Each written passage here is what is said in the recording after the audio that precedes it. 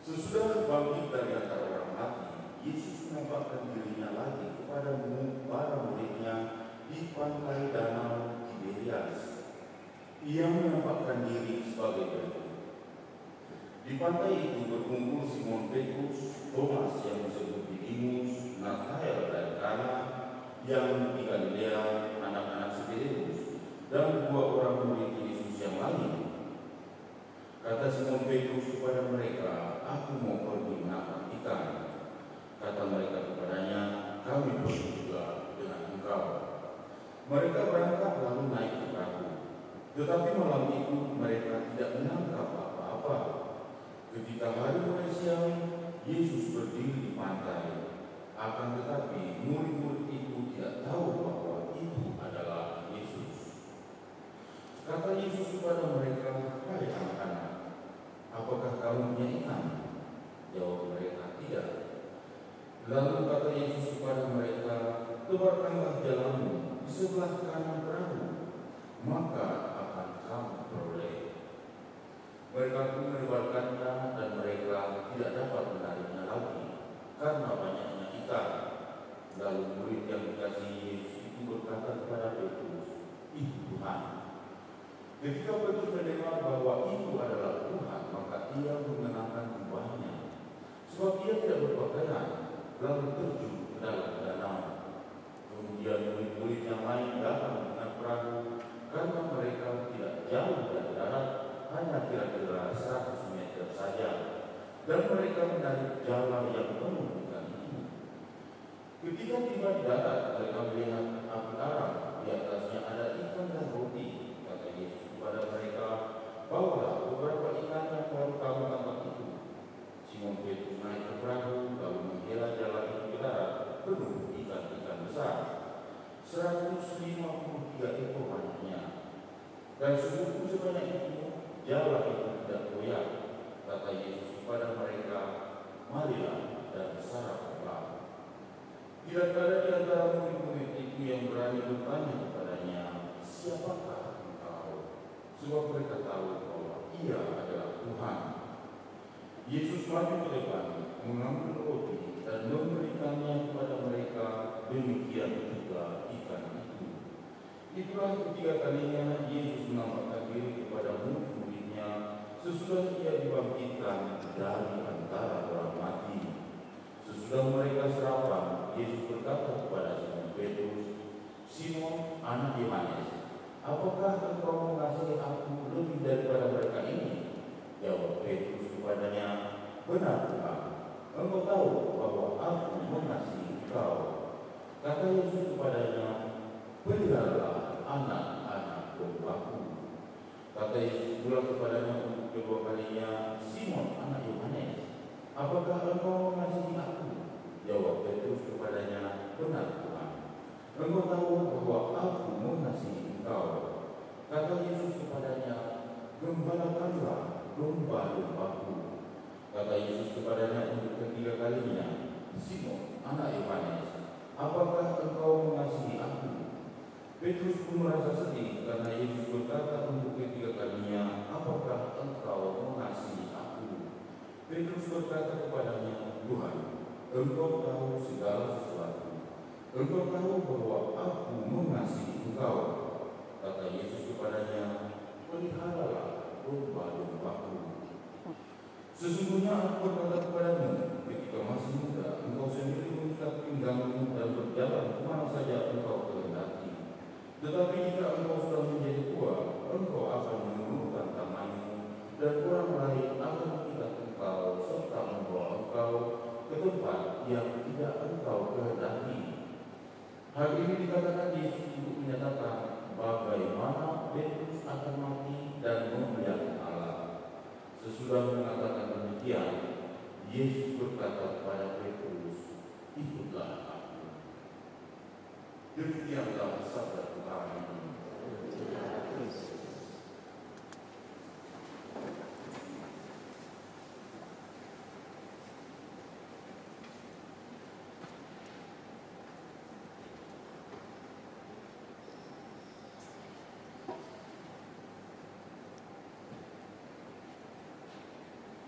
Reverend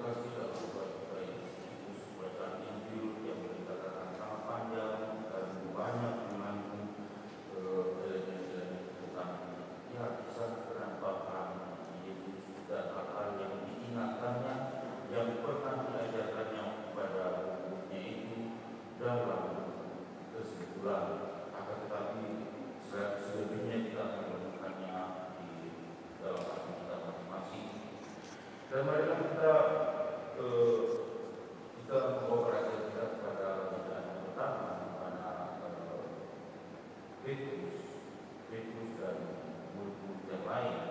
Berasa sangat